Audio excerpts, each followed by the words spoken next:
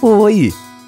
Nesse vídeo, vamos conhecer o software de similaridade, recurso disponível no AVA UFMS com o objetivo de fortalecer a qualidade e a integridade da produção acadêmica, por meio de um relatório intuitivo de verificação de referências e citações que mostra correspondências de texto e o percentual de semelhança. É uma ferramenta fundamental para preservar o direito autoral e a originalidade e inovação dos programas de ensino ensino, pesquisa, extensão, inovação e empreendedorismo. Lembrando que o software está integrado ao AVA UFMS e, portanto, para acessá-lo, primeiramente é necessário que o professor crie uma atividade compatível para que os trabalhos acadêmicos possam ser submetidos à verificação de similaridade.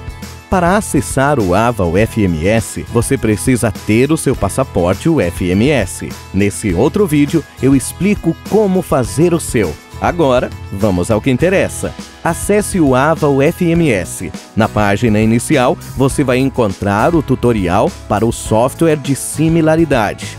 Vamos então ao passo a passo. O professor, após acessar o ambiente da disciplina, deve clicar no botão Ativar edição no canto superior direito. Agora eu vou mostrar como adicionar uma atividade. É simples.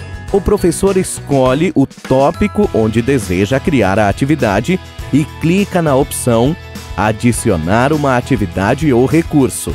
Nessa tela, o professor escolhe uma dentre as três atividades compatíveis com o software de similaridade, sendo elas a tarefa, o fórum ou a atividade de laboratório de avaliação. Vamos demonstrar criando uma tarefa, selecionando o item nessa relação aqui do lado. Próxima etapa: configure a tarefa conforme sua necessidade, definindo os parâmetros de configuração no formulário de criação. Na seção Configurações do plugin de integridade do Turnitin, o professor marca a opção Ativar o Turnitin. Em seguida, defina as demais configurações do plugin de integridade do Turnitin. Pronto! Agora é só salvar a atividade. Feito isso, assim que os estudantes submeterem seus trabalhos e aceitarem a licença do software, começa o trabalho minucioso do software de similaridades mais utilizado no mundo acadêmico. Após os envios das atividades por parte dos estudantes, para acessar o relatório de similaridades, o professor precisa acessar as submissões.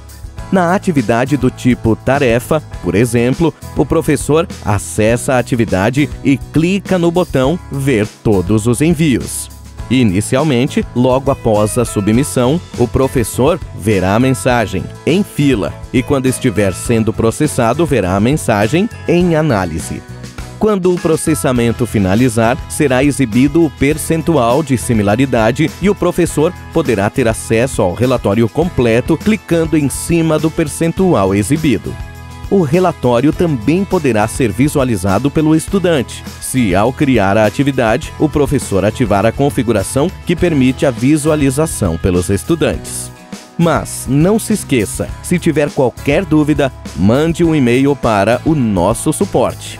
Até o próximo vídeo.